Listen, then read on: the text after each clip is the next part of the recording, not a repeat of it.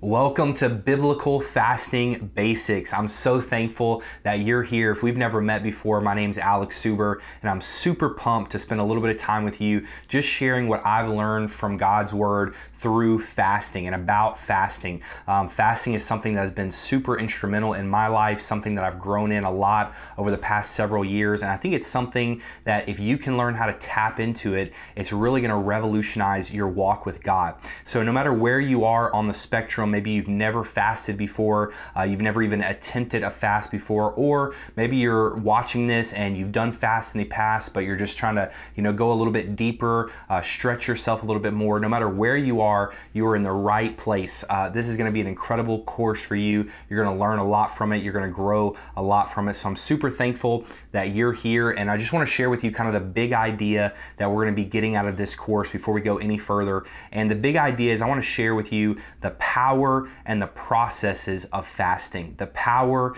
and the processes of fasting. I believe that there's a lot of power in fasting. There's power for breakthrough, there's power for provision, there's power to overcome temptation and sin. But there's also some processes. There are some very practical things. And I've found a lot of people talk about the power and uh, they want to learn about the power, but so many people aren't aware, have just never been taught of how do you actually fast. Like, I, I want to fast, I see the reasoning behind it, but what do I actually do? So, we're going to get into both sides of that the reasoning behind it, the power behind it, but then also the practicalities and the processes of how you have a successful fast.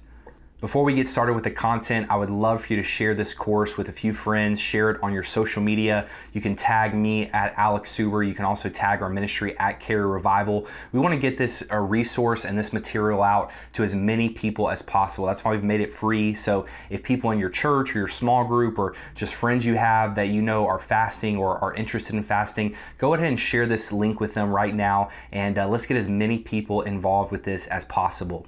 I also want to thank all of our monthly partners for giving towards Carry Revival Ministries and making this course and all of our resources possible. Without our monthly partners, without those that give one time donations, we would not be able to do courses like this. We wouldn't be able to travel and speak. Uh, we wouldn't be able to release courses and teachings and different things. And so I want to thank all of those that have already given. And then if you're watching this, I want to ask you to pray and consider giving towards Carry Revival Ministries. Our hope is to really always keep these resources free, but it does cost money for us to create and for us to host on websites and all that good stuff. So we would love for you to partner with us and maybe give a one-time donation or a monthly reoccurring donation so that we can continue to make more courses like this so that we can release devotionals uh, and do a lot of things to help people see revival in every area of their life. Every day we are seeing people impacted by the resources and the messages that are coming out of this ministry and you can be a part of that.